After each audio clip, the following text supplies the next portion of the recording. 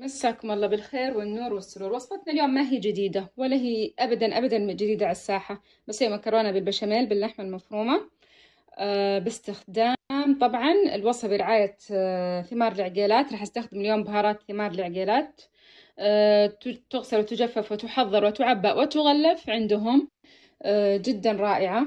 محمصة واضح إنها محمصة من ريحتها جدا جدا رائعة. طبعا عندهم غير كذا عندهم خضار تجي من القصيم. آه، الآن بسبب هذه الظروف الموجودة في توصيل في موقع إلكتروني في توصيل لجميع أحياء الرياض يا بنات تقدرون تطلبون من موقعهم الإلكتروني. بقول لكم الأشياء اللي بستخدمها وبقول لكم بعض الأسرار الجميلة في وصفتي. طبعا راح أحتاج لحمة مفرومة لسه ما فكت صراحة آه، طازجة هي بس أنا مفرزنتها آه، بنستخدم لحمة مفرومة لحمة عجل. راح أستخدم طبعا مكرونة راح نسلقها. آه راح أستخدم بشاميل. البشاميل بستخدم صراحة البشاميل الجاهز والسر اللي راح أضيفه هو البهارات البيضة البهارات البيضة بتعطيه نكهة مرة لذيذة مرة لذيذة يعني حطيها مع البشاميل مع الجريش مع مع الرز حقك الأبيض تعطي نكهة روعة أنصحكم فيها. فبضيفها للبشاميل. آه عندي بصل وطماطم فلفل بارد وخضار مشكلة ومعجون طماطم وبقدونس واللحمة المفرومة طبعا والبشاميل والبهارات كركم. وكزبرة وبهار مشكل هذا للحشوة والبهارات البيضة للبشاميل والبشاميل. أه هنا طبعا سخنت الزيت وراح أضيف البصل. أه بس يذبل البصل راح أضيف عليه اللحمة لأن اللحمة لسه شوية مجمدة. فلو هي مش آه، جامدة مرة أه كان ممكن أخليه يأخذ له لون. أه راح نضيف اللحمة. اللحمة طبعا ما تغسل. لو في لا سمح الله جراثيم أو شيء الحرارة اللي قاعد تتعرض لها يقتل أي جرثومة. ما تغسل. الآن راح أطقطقها وأرجع لكم. هنا طبعا بشوية عنف. طقطقنا اللحمة. أبغى كل اللون هذا الوردي يختفي. عاد شوفوا بنات اللي تبي تغسلها براحتها تغسلها بس ترى بتحصل على قطعة بلاستيك ما راح تحصلين على طعم لذيذ. ولمعلوماتكم البرجر اللي أنتم طايحين فيه وطايرين من السعادة فيه تشترونه من برا من محلات البرجر وال food truck وهذا كله ترى اللحم مو مغسول. هذا أنا علمتكم وقلت لكم لأن لما ينغسل يصير قطعة بلاستيك. وزي ما قلت لكم كمية الحرارة اللي تعرض لها ترى هذه فوق ال 600 وفوق ال 800 كفيل إنها تقتل تقتل كل شيء. فلا توسوسون. يعني اللحم لسه ما استوى راح أضيف الطماطم لأني ابغاه يذبل يذبل مضبوط يعني فبنخليه يطلع مويته ويذبل عدل مدل. وهم الفلفل البارد واللي تحبه سبايسي تحط فلفل حار. الخضار المشكلة بعد شوي بضيفها. الحين بس بخليه شويات يذبل وبضيف نشوف بعدين مع بعض يعني. الآن يا بنات في هذه المرحلة راح أضيف معجون الطماطم.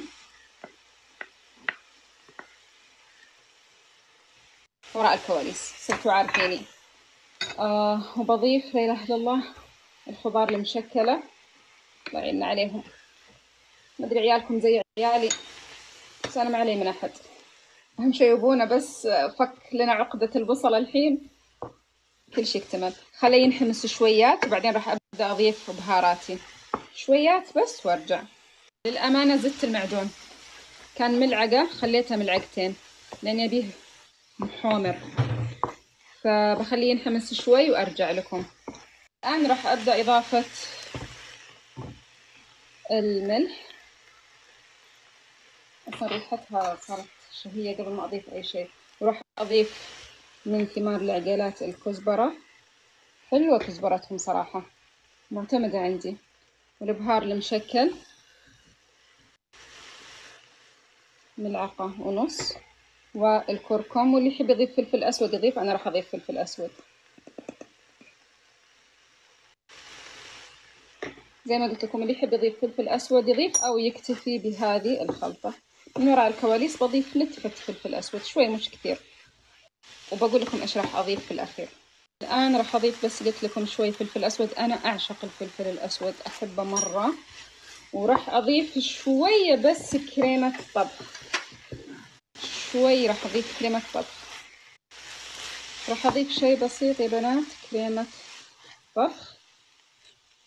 أنا أحبها كذا تكون شوية صوصي. وأخيرا وليس آخرا بطفي عنها.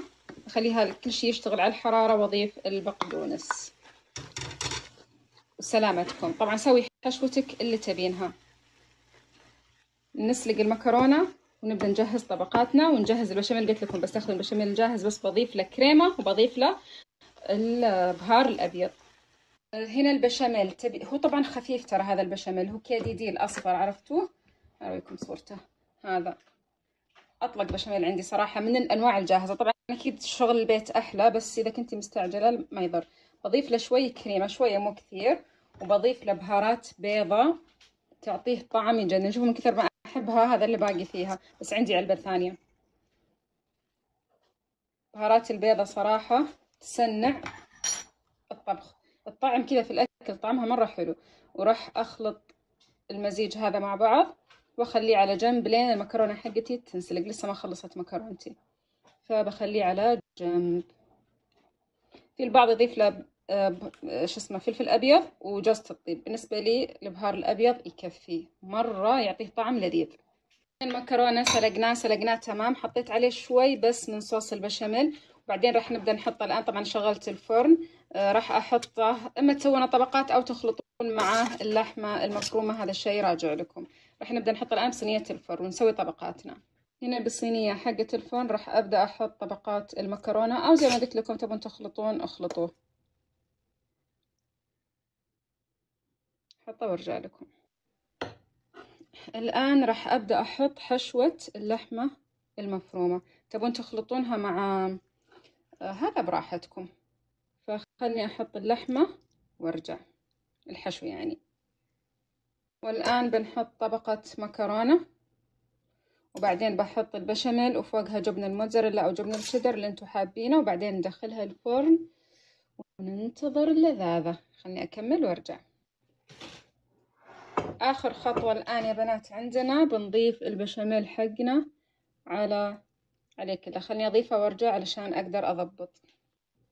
وأخيرا وليس آخرا الموزاريلا اللذيذة.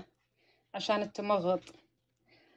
آه طبعا سالفة المكرونة أنا ما كنت ناوية أسوي صراحة مكرونة حق آه العقالات بس تذكرون يوم آه زوجي كان مشتهي مكرونة بشاميل وعلمته طريقتها وسواها وصورها في جروب العيلة. من وقتها والعيال مرة مشتهينها. يبون زي مكرونة أبوهم بس أبوهم بالدجاج. أنا سويتها باللحم. أو بس. ندخلها الفرن بعد شوي. تقريبا يعني لحد ما تسيح الجبنة وتتحمر. صغيرتي استودعناها الله.